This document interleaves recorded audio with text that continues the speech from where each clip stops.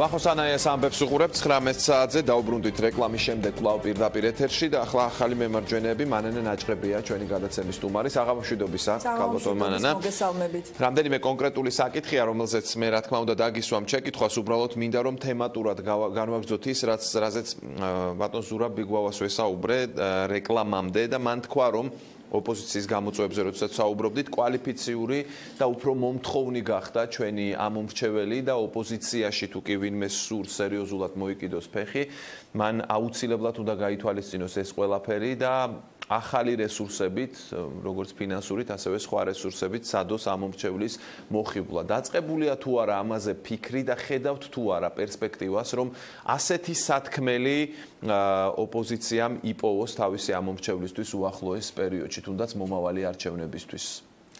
ცხადია თუ გავაგრძელებთ ამ თემას მე ვეთანხმები ბატონ ზურაბს იმაში რომ ოპოზიციას ისევე როგორც ხელისუფლებას და მართლ პოლიტიკურ ძალას ჭირდება კვალიფიციურობა მე არ ამგონია რომ ქართული პოლიტიკური ძალები კვალიფიციურობის ნაკლებას განიცდიდნენ ყოველ შემთხვევაში.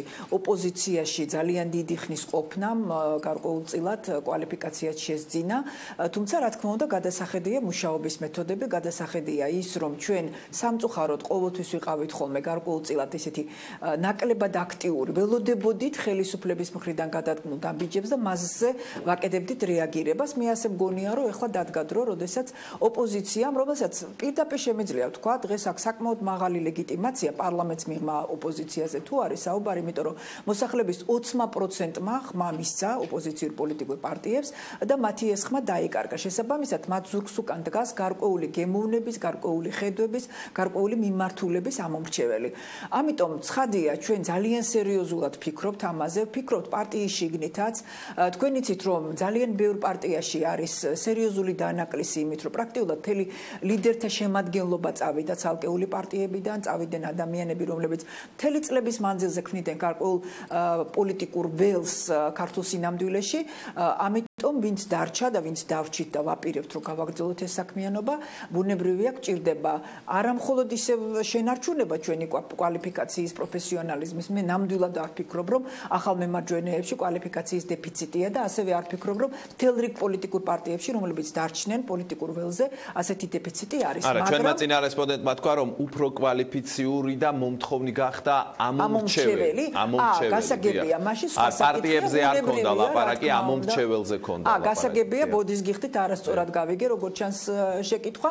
რა თქმა უნდა ამომრჩეველიც გახდა ძალიან მომთხოვნი როგორც მართველი პოლიტიკური ძალის მიმართ ასე მგონია და პოლიტიკოსების მიმართაც. შესაბამისად ჩვენ ვალდებული ვართ რომ აი ამ მოთხოვნას უპასუხოთ.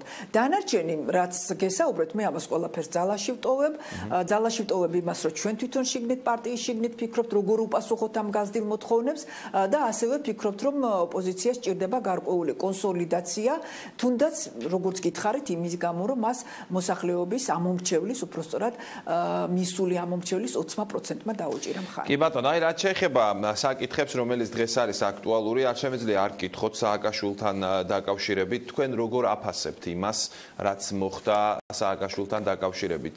ერთი მხრივ გამოწვევა აქ საქართველოში, რომ მის პარტიაში ვითარება ბოლომდე გარკვეული არ არის დღეს და მეორე მხრივ ის აღარ არის იმ თან თანამდებობაზე, რაზეც იყო ცოტა ხნის წინ უკრაინაში. მოსალოდნელი იყო სააკაშვილთან დაკავშირებით ასეთი გაგრძელება მისი კარიერისა. მე ვფიქრობ, რომ მას ქონდა შანსი და როგორც შანს ახლა მაგის ანალიზი ნამდვილად არ გჭირდება ჩვენ რატო ვერ მოახერხა რომ დასაწყისშივე აეღო რაღაცა გარკვეული სადავეები ხელში და მიიღწია ისეთი წარმატებისთვის, რომელიც გარანტირებულად უზრუნველყოფდა იმას, რომ ის მინიმუმ ამ თანამდებობაზე დარჩებოდა და მეტის პრეტენზიაც ექნებოდა. მან ეს ვერ მოახერხა. ერთადერთი მე ასე ვფიქრობ, სააკაშვილის მომავალი უნდა განვიხილოთ ჩვენ საქართველოსთან მიმართებაში. მიიღებს ის გადაწყვეტილებას დარჩება უკრაინაში და გააგრძელებს იქ ბრძოლას. ეს მისი გადასაწყვეტია. მიიღებს გადაწყვეტილებას და წავა ან დასავლეთში ან ამერიკის შეერთებულ შტატებში. აქაც მე ვერ ხედავ პრობლემას. ერთადერთი მე ვფიქრობ, რომ სააკაშვილი საქართველოსში დაბრუნების და საქართველოსში პოლიტიკური საქმიანობის თემა შეიძლება იყოს განსახილველი, თუმცა მე არსებული ვითარებიდან გამომდინარე ამის შანსს ვერ ხედავ. ის არის ძებნილი. მას საქართველოსში შემოსვლა აკრძალული აქვს როგორ მოახერხებს რომ გარედან მართოს პოლიტიკური პროცესები ეს ჩემთვის აბსოლუტურად გაუგებარია. მან ეს ვერ მოახერხა გუბერნატორის რანგში და ძალიან გაუჭირდება მით უმეტეს აი ამ თანამდებობის გარეშე და მით უმეტეს ამას დაემატა ის რომ მისავე პარტიაში ნაციონალურ მოძრაობაში არის ძალიან სერიოზული ასთა სხვადასხვაობა მის მომავალთან დაკავშირებით კონკრეტულად ამ პარტიასთან მიმართებაში.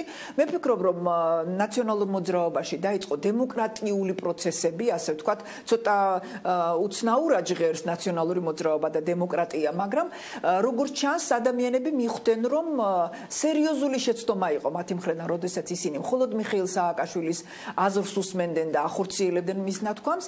ამიტომ ბუნებრივია დაიწყო ეს პროცესი ეს მოსალოდნელი იყო. როგორ განვითარდება ნაციონალური მოძრაობა?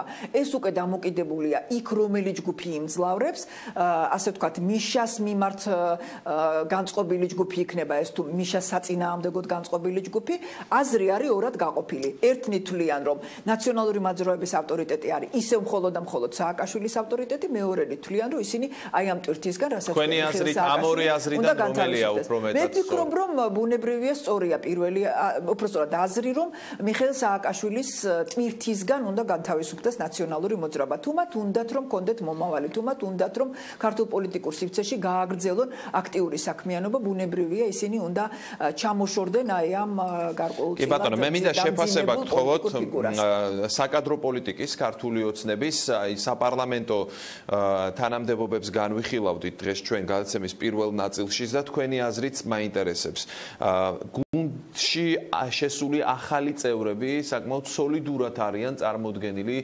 კომიტეტების თავმჯდომარეებად. ასევე პარლამენტის თავმჯდომარე პარლამენტის თავმჯდომარის მოადგილე. რა პროცესთან გვაქვს საქმე? თქვენი აზრით და როგორ აფასებთ ამ პროცესს რომ ახალი წევრები ძალიან მაღალ თანამდებობებს დაიკავებენ პარლამენტში ამ პროცესში დადებითიც არის და უარყოფითიც. დადებითი არის ის, რომ ესენი არიან ახალგაზრდა ადამიანები, გარკვეულწილად მათ იციან რას ნიშნავს ევროპული დემოკრატია, იციან რას ნიშნავს ზოგადად დემოკრატია და მისი მნიშვნელობა და რატომღაც გონია, რომ თავიანთი ასაკიდან გამომდინარე, ბევრად უფრო, როგორ ვთქვათ, ამბიციურები იქნებიან და უფრო ეცდებიან, რომ თავიანთი პოლიტიკური მომავალი აქ არ დაასრულონ. არ იყვნენ მორჩ მორჩილი ადამიანები, თორემ დასრულდება მართლაც პოლიტიკური მომავალი, მხოლოდ აი ამ მოწევის პარლამენტში 20 წლიანი მოღვაწეობი და მეტ პერსპექტივას ისინი ვერ ნახავენ, დარწმუნებული ვარ ამაში. თუ იყვნენ დამოუკიდებლები თავიანთი გადაწყვეტილებების მიღებაში, ბუნებრივია გონდურობის პრინციპი ყოველთვის გასათვალისწინებელია, მაგრამ მაშინათვე გამოჩნდება ეს არიან ადამიანები, რომლებიც მხოლოდ და მხოლოდ დაკვეთას ასრულებენ, მხოლოდ და მხოლოდ მათი ფუნქცია არის ის, რომ თქვა პარლამენტში წარმოადგენონ ის, რაც სადღაც უკვე გადაწყდა ხდება, დაიცვან ის რაც სადღაც უკვე გადაწყვეტილია, გაამართლონ ყველაფერი აბსოლუტურად თუ ესენი იქნებიან მართლაც ადამიანები თავიანთი თავის მიმართ მომთხოვნებიც და კარგად გააცნობიერებენ რას ნიშნავს პარლამენტი და რას ნიშნავს საპარლამენტო თანამდებობა. კონკრეტულად გულისხმობ ამას.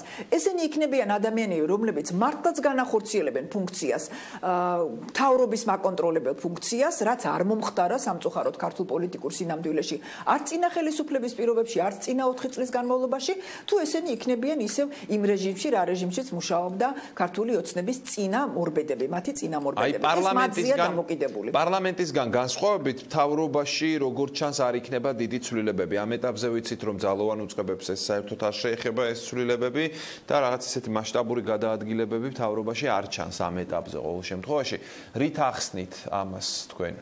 მე ვფიქრობ რომ აქ გარკვეულწილად მაინც მოქმედებს არა ის პრინციპი რომ აი ჩემი გუნდი პრემიერ-მინისტრის გუნდს გულისხმობ რომელიც უფრო რადიკალურ ცვლილებებს განახორციელებს და მხარსაუბანს რადიკალურ ცვლილებებში თუ ესენი არიან ადამიანები მთავრობის წერილს გულისხმობ რომლებთა უკანაც დგას არამხოლოდ პრემიერ-მინისტრის დობა არამედ რაღაც გარკვეული გავლენები და პირველ რიგში აქ იგულისხმება ბიძინა ივანიშვილი. ხო?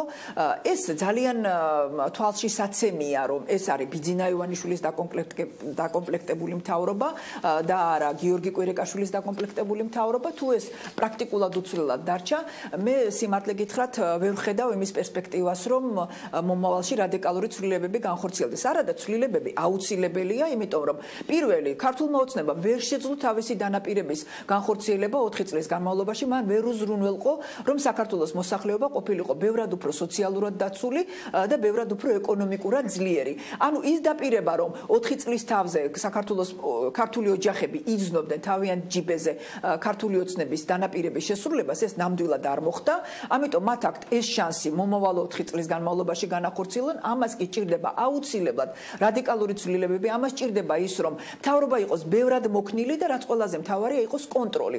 მე არ მისაუბრია ყასიდად, ასე ვთქვათ, ის რომ ძალიან ბევრი რამ არის დამოკიდებული პარლამენტი როგორ შეძლებს თავისი ფუნქციის გაცნობიერებას. იმიტომ რომ ჩვენ ნაციონალური მოძრაობის დროსაც, ქართული ოცნების დროსაც ყავდა პარლამენტი, რომელიც მუდმივად თავს იკავებდა მინისტრების პარლამენტში მოწვევაზე, მინისტრების მიმართ კითხვების დასმაზე. სწორედ აქედან გამომდინარე იყო ის რომ მინისტრები პრაქტიკულად ვერ ასრულებდნენ თავიანთ მოვალეობას სათანადო დონეზე. მოდი ასე ვთქვათ, საქართველოსში რაღაცნაირად ესეთი პრაქტიკა დამკვიდრდა, რომ საპარლამენტო გუნდი და სამთავრობო გუნდი ყოველთვის ცდილობდნენ, რომ თავისი ერთიანობისთვის და საკითხებთან დაკავშირებით თანხმობაზე გაეკეთებინა აქცენტი, რომ ეთქვათ, რომ ჩვენ აი თანხმდებით ამ საკითხებზე, როგორც წესი უჭირდა ხოლმე უმრავლესობის გუნდს ყოველთვის e-kritike Bina. თავრობა ეს ასეთი ტრადიცია დამკვიდრდა ასე ვთქვათ. ძალიან ცუდია რომ ეს ტრადიცია დამკვიდრდა, იმიტომ რომ გუნდურობის ყალბი გაგებაა ეს მით უმეტეს პარლამენტის მხრიდან. მე ასე მგონია რომ ბუნებრივია პარლამენტი ამტკიცებს თავრობას, უნდა პირველ რიგში პრინციპულობა უნდა გამოიჩინო ამ დროს და არა მერე.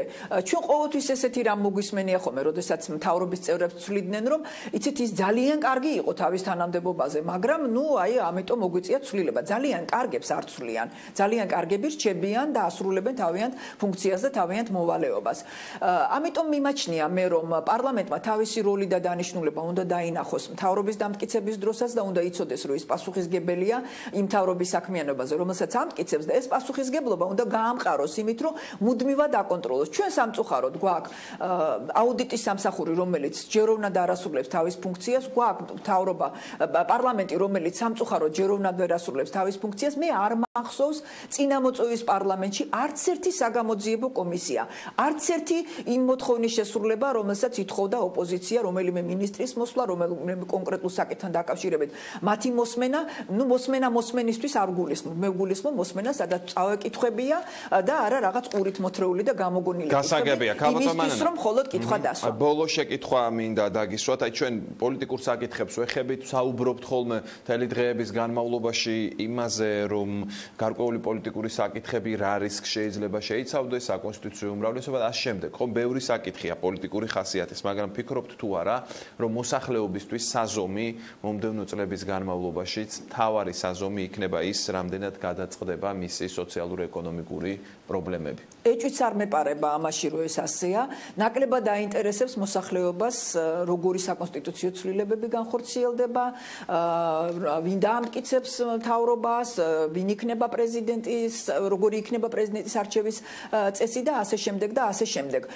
სამწუხაროა ეს, რომ მოსახლეობას პირველ რიგში, რა თქმა უნდა, აინტერესებს, როგორ შეიცვლება მისი მომავალი სოციალურ-ეკონომიკური თვალსაზრისით, იმიტომ რომ მოსახლეობა ამ მდგომარეობაშია ჩაყენებული.